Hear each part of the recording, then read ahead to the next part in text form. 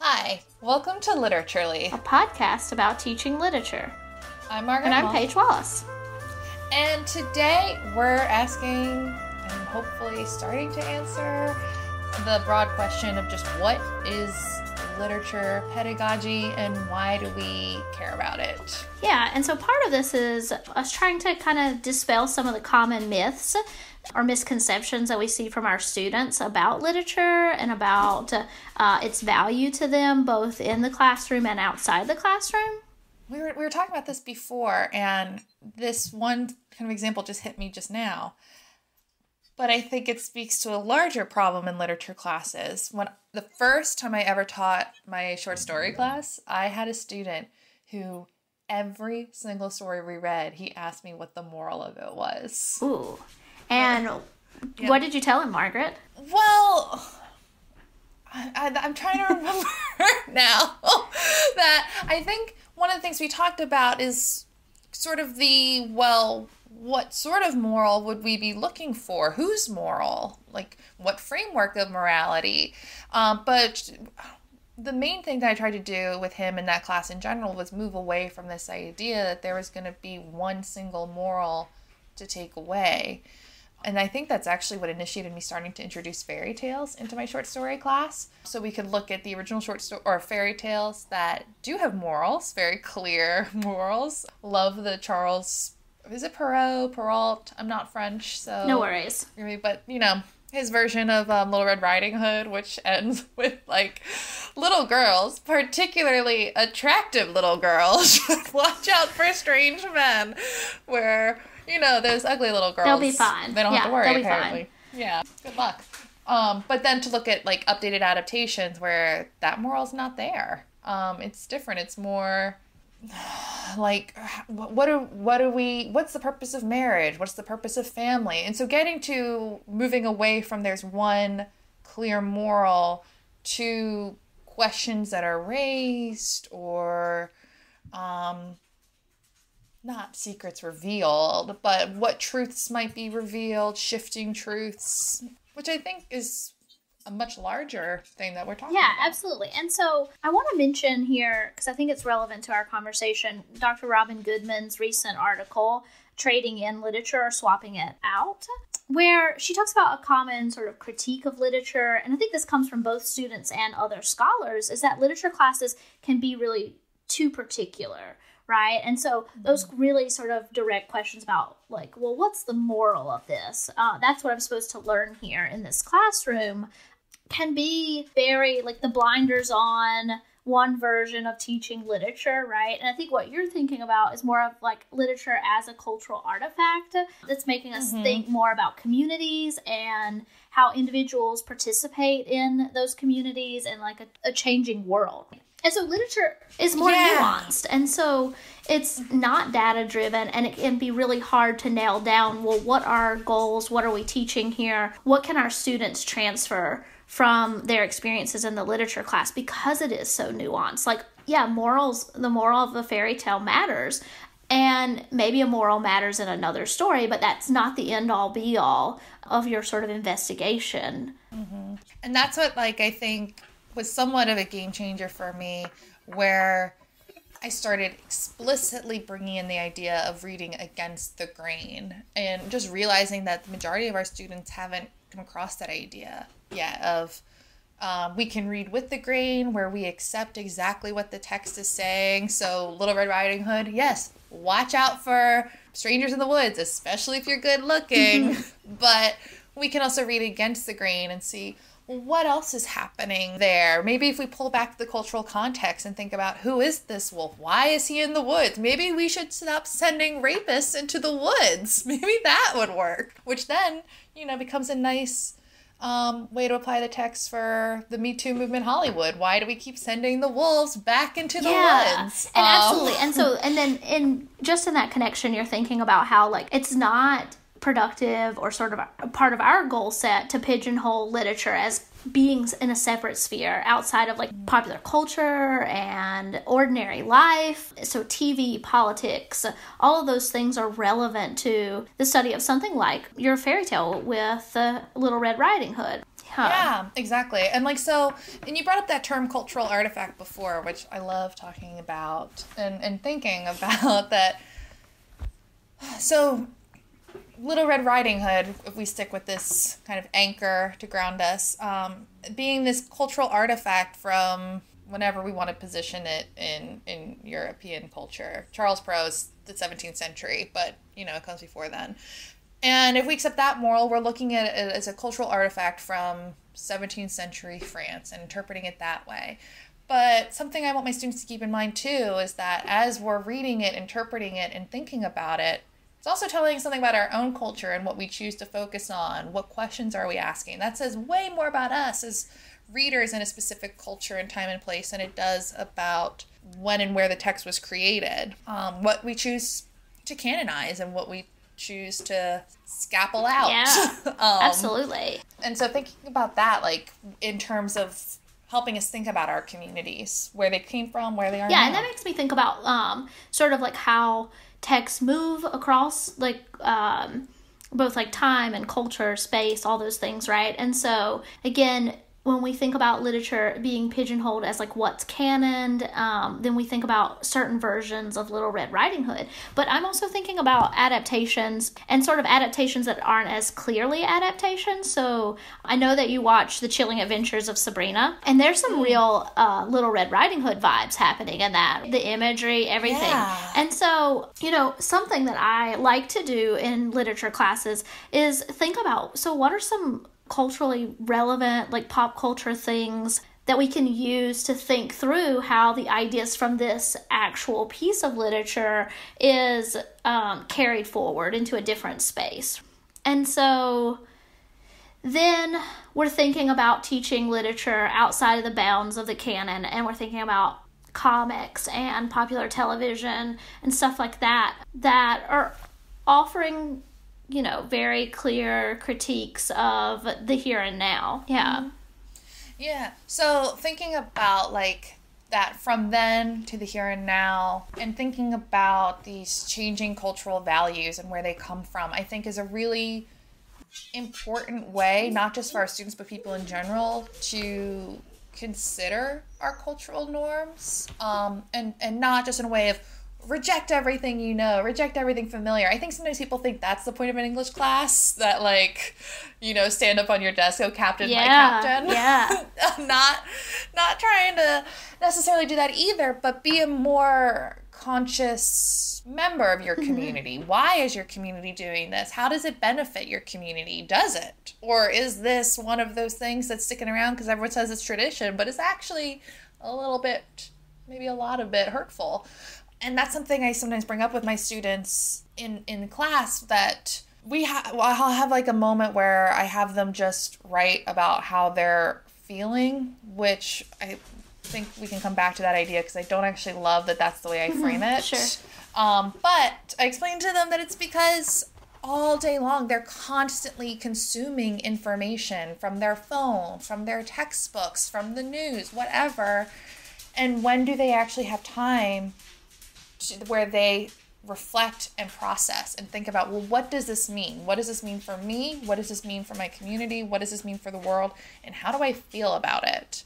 How is it affecting me you know emotionally legally fiscally mental did i say mentally? All of Right. it and and i think literature classrooms help build those skills where they can process this information and really start to unpack well, what does this actually mean the two suspects were apprehended Right. like let's break down that sentence Right. And so then we get to this sort of moment of considering meaning. And so one of the things that I come up against with students that are, you know, fresh in a college literature class from high school. So they kind of like that question of what's the moral of this? So they also have the question of well what does this mean? And they want to know they want a concrete like you tell me if my meaning is correct my interpretation is correct or not. And so part of the difficulty of, of teaching literature is to say there is not one right answer, one sort of two plus two equals four interpretation. but at the same time to hone like these critical thinking skills and ability to close read and do analysis so that we we aren't accepting that there are no wrong answers and so Yeah. we've talked about this idea too that we can we have to have some skills for analysis and interpretation to get a reading that works or to get something that's viable and isn't just like really left field Yeah, you can't watch Titanic and argue that it's a metaphor for the Holocaust. Like we can do a class reading and talk about like unfair systems, but the the text itself isn't going to support that. Um, I'd be very happy for someone to prove me wrong on that. That would be a really interesting read. But that to show our students like yeah you can make exciting original claims but you also need to be able to back it up with evidence with analysis and not just show us the evidence that proves your point but explain clearly how it proves your point really back it up for us and sometimes i know that students get so terrified by that so this is just my personal pedagogical trick. I told them about my professor in college who he taught us our theory class and he was great, absolutely phenomenal. Did you- really drove Did you want to shout him out this- before you tell us the story? I- Did you want to shout him out before you tell us the story? Um, I'll let you decide if I should shout him out after I Okay, okay. because again, I'm gonna say great professor who really drove home like how theory is important and you have to work at it. It's not something you can phone in. You can't you can't just like hide bad ideas with good writing. He was great for that.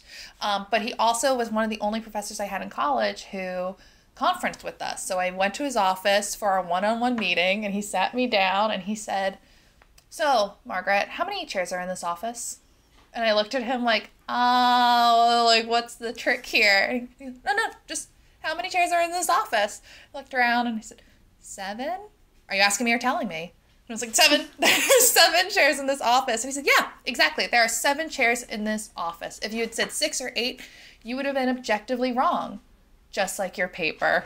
I remember, like, oh. Okay. So there are wrong answers here. And I tell my students, like, I will never say that to you. I'm never going to have you count chairs. But we we are going to try to focus on how do we find an answer we can support. Yeah. That's the right answer. But if you can't back it up, if you're just, you know, making it pretty with nice sentences, that might be an objectively Yeah, wrong. yeah. So I mean, that's also I'm deciding if I want to say bullshitting in this podcast, and I'm gonna go for it. But like, you know, Yeah. so many times those first like reflection papers or response papers or blog posts or just like you know like. What does she want me to say about this text? How can I bullshit my mm-hmm. answer here, get my word count, and not really say anything? Yeah. And so that is something that I tend to discuss like really head on. Like, please don't do that to me. I'd rather you have some interpretation that you stand by that is just not really well supported than something's just sort of like, let me make up something that sounds good. Yeah. And I think it goes back to what we were talking about before with like that question of morality and feelings where the idea that students come walk into the classroom with of oh literature is just about like how do you how do I feel about it. So you can bullshit that because there's no wrong answer. It's just how I feel. And um, I think that's something we've talked about you and I together. That what what happens in the literature classroom is not just working through your feelings. It's not this therapy class you're getting graded yeah, on. and so again, there's the nuance, right? It's not wholly data driven, like something that we can nail down um, and say it's completely without feelings, but it's definitely not just about feelings. And so I guess the question then is if you were thinking about what your goals are in your literature classroom or what happens there, or what you want your students to walk away with, we talked, you know, before that we're kind of two sides of the same coin in that. And so I guess maybe we should summarize like how how what our goals are in the literature classroom and what we want our students to achieve and walk away with and and sort of what skill set, right? And and again like not to parse it down to like something that's always transferable, right? Because some of the things that you Yeah. learn in the literature class about the human condition and about communities and individuals are not necessarily things that can be nailed down and put on a CV. I've learned that sometimes people do the wrong thing in search of doing the right thing, right? Like, so there's some of these things that are just, they're definitely transfer- transferable, but they're not, they don't have that same sort of data driven thing where it's like, I have learned how to, uh, how sentence structure works or how paragraph, you know, um, needs to work. Yeah. yeah. Yeah, I think like that is something that's hard for academics. I think high school teachers and college teachers alike of like that sort of syllabi that you submit to the department, what's going to happen in this class of like, well, um let's but so I think we but we do we've talked about this have like these clear goals for our students like generally um, obviously it changes depending on which specific course we're teaching. Women in Lit has different goals than like intro to short story but generally speaking, I think our primary goal oftentimes is getting comfortable with ambiguity and how do we respond to ambiguity. I think you said this before and I really, really liked it that realizing your experiences are not the center. Yeah.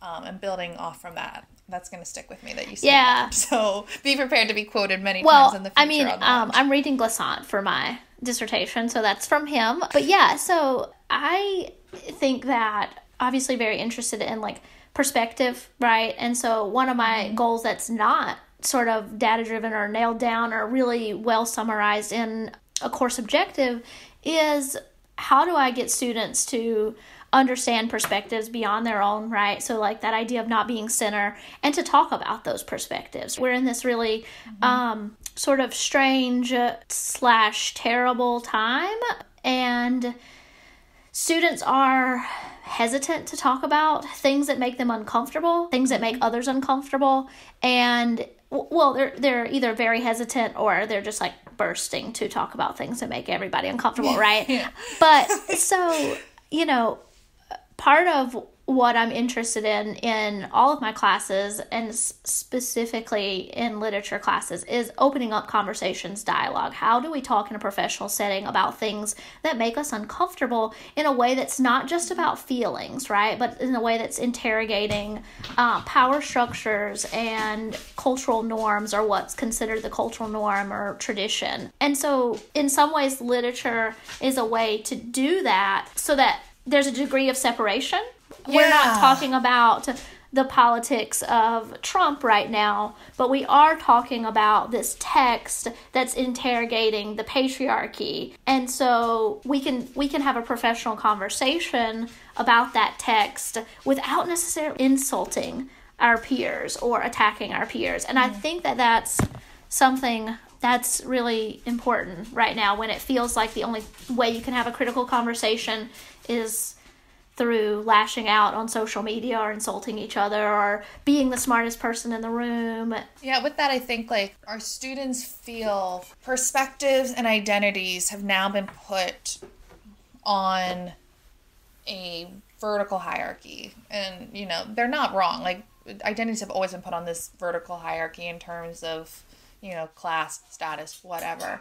But I think one of the goals for the classroom is really thinking about these identities on a horizontal hierarchy that to think about yes there's there's multiple perspectives and multiple experiences and an infinite amount of ways to navigate the world.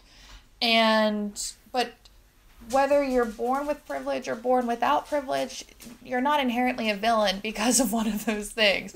Instead they're just different ways of navigating or, or seeing the world. And so, as you were saying, I think literature gives us a place of distance to start thinking about that and and unpacking the ways that it's it's not saying this way of living is right, this way of living is wrong. There's that's not the moral of this novel, but what does it mean if this is the way you're experiencing the world? How will that affect the way you understand things? How will that affect what what you see, what you don't, etc.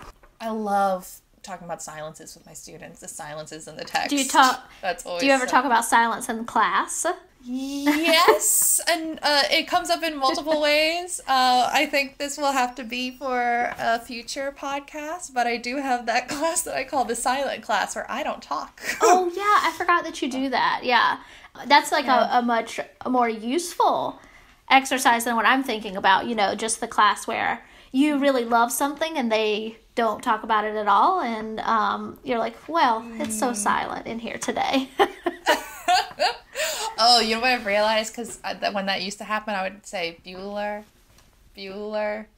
And just in five years, that's no longer something they respond to. Well, and then you feel really dated, right? Yeah. Which that movie predates me. I'm like, how is this dating me? but well, And the other thing is, I guess, like, that's our moment of being okay with ambiguity because they're silent and you're like, are you silent because you hated this? Or are you silent because you don't know what to say about it? Or are you silent because you didn't read it? Or you're silent because you're afraid? Like, right? And it just, just or E all yeah, of the e above. all of above. Yeah. yeah. Uh, going back to thinking about perspectives too, I think something worth addressing and that we have addressed with each other is that the goal the goal in the literature classroom is not always for our students to see their own perspective represented. Representation is important and I think we're going to talk about that much more long term. But that understanding when they value when they are evaluating a text to not prioritize relatability always. Um, how does literature go beyond just reflecting ourselves or reflecting what we know? Opening up or, possibilities. I think that that's a really sort of key key and important thing because yeah because it is one of those myths right? Like i can't unpack this text because I don't relate to it. It's like, well, what does it mean that you don't relate to it? Yeah, and so then thinking about, well, then how do we evaluate text? How do we decide if a text is effective or not? That's something um, that I love doing with my students with endings throughout the semester because they'll start the semester saying like I hate this ending. It's like, well, why do you hate it? Well, it's not the ending I wanted.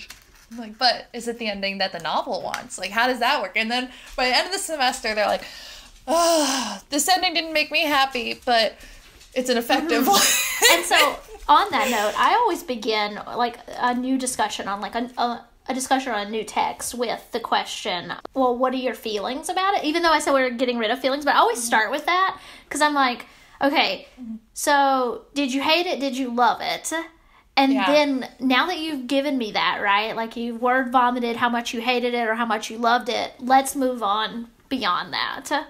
Yeah, and sometimes that can be useful when they're like, I just hate this character. It's like, okay, well, why? Let's get into like why we hate this character. And by the end, they're either like stand by, they're like, okay, well, the novel wants me to hate this character, so I'm comfortable hating it, or they're like, well, the way this character talks or like some that's one of the things they like love to say like this the way this character talks is so unrealistic. Mm-hmm. like okay well so let's let's talk about like what that means and then whole new avenue to go down that I didn't plan on originally. Yeah.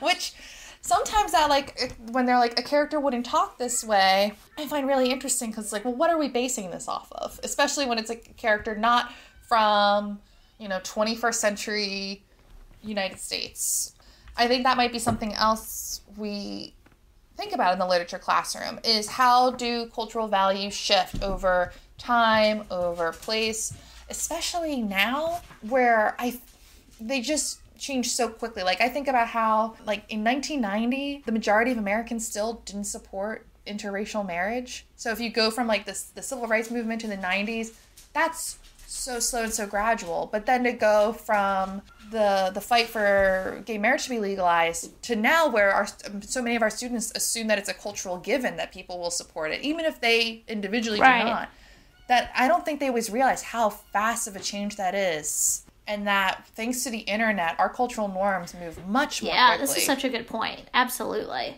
it's it's hard to nail down because when you're living in it, you know, your norm is your norm. It's what is that like the boiling water? um, and I think literature gives us a, a way to stop and kind of take the temperature of things at various. I really points. like that um, that metaphor, right? Like to sort of stop and take the temperature. And I'm thinking about like stopping and taking the temperature right now during the pandemic.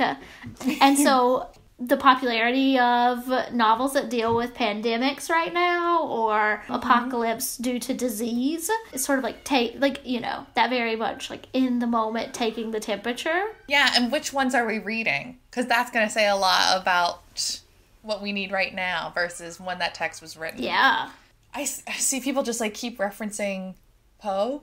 Uh, wh- which one Fall is of the ha- is so House of. Usher.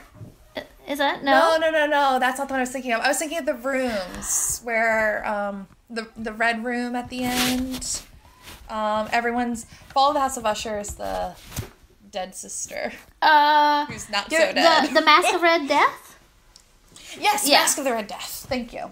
That that I've seen that story getting thrown around a lot right now, which says a lot more about the way we feel about class than it does about the way we feel about mm, pandemics. Yes. but they're connected right like everything's connected etc you can't you can't isolate knowledge Definitely. And so, okay. Do you have anything else we, that you want to add? Yeah, go for it. well i wanted to come back to what you said in the beginning of we're two sides of the same Oh. coin i don't know if you were coming back Oh, to that I wasn't. but- I'd forgotten we said that. Yeah. Refresh me. So we talked about this, I think, yesterday, um, when we were just talking about that. I had received the question in an inter- um, job interview, of the like, why I teach literature, and had been making me think about, well, why do I want to teach literature, and why do how is that different from my friends, my colleagues, all of that, and and my answer was I see literature, we've already talked about this, as a cultural artifact that allows us to learn not only about the world it, in which it was created, but the world in which we interpret it. And we've talked a lot about that so far in this episode. But my focus is more on like the changing community, um, which then we flip that coin over to your side, which I think you're um, interested in the individual. Yeah. Um, within I think community. I think that's right. And so I'm thinking a lot about um, again the individual perspective and how literature can be a doorway to change what you think you know, and that's really important for me. And I think giving it to my students as a tool for interrogating the world and better understanding the world and better sort of be like preparing themselves to navigate in the world. And so, yeah, definitely two sides of the same coin. Yeah, because there's no. This is so pithy or whatever, but that there's no community without the individual, and there's no individual without the community, And which is we're why back think to we talk so much. I know. but that's why I think you and I have a lot to talk about with pedagogy. That we're, in essence, interested in the same sort of issues. We're just coming at it from slightly different angles, which you know allows for that gray area. Yeah, absolutely. Okay, and um, then I think that we should. We said yesterday because you know we recorded our first one yesterday behind the scenes BTS guys, and second one today. But um, so this is this question. The turnover rate for this question is pretty quick. But your dream class today is what? Oh, um, my dream class today is adaptations of women. Um, so thinking, because I've just been talking about Circe so much. I have also been talking about Circe, So- and not with you. it's there's so much to unpack. I think I, I I don't know when I'll be finished thinking about this novel.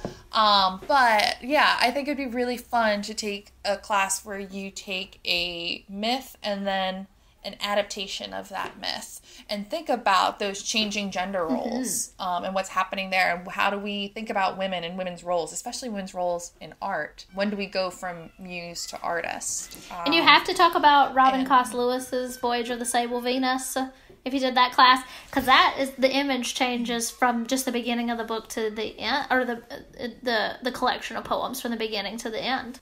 Yeah, then that's Hartman's Tale of Mm-hmm. 2 Venuses would be so perfect with that. And I actually taught that in a women in light class. And that was our sort of approach for thinking about researching women in narratives that whenever we're approaching this, we're always creating new narratives. And, and what does that do? What are the ethics of that? That's a much larger conversation, which you know I will jump down that rabbit Mm-hmm, Yeah, yeah. hole and spend.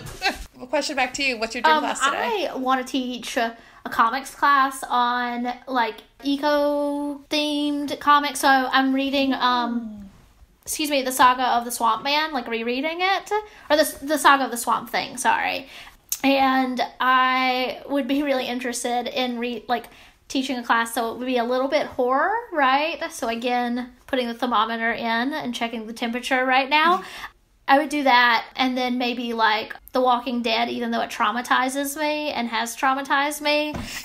so, yeah, haven't really fleshed that out, but that's something that I'd like to do. And maybe pair it maybe not all comics, maybe pair with some short stories.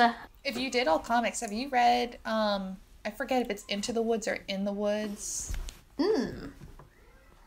I'll share that with Yes, you later. Yes, do that. But it's it's like a high school sp- adventure comics that I just started, so I I don't know the whole thing Okay. myself. Yeah, and I would probably do something like like some of the darker Archie comics uh, for that. Haven't really thought how I'd make the connection back to Eco, but I'm you know I have this sort of long-standing belief that everything is, I can relate anything back to Eco. And maybe we should talk about how there are wrong answers and you can't do that, but I'm I'm committed. So, but yeah, okay.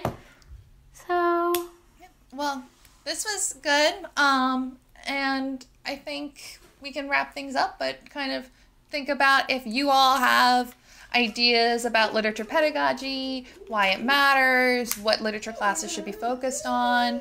Feel free to email us at literaturelypodcast at gmail.com. yeah, awesome. Talk to you later, Margaret. Bye.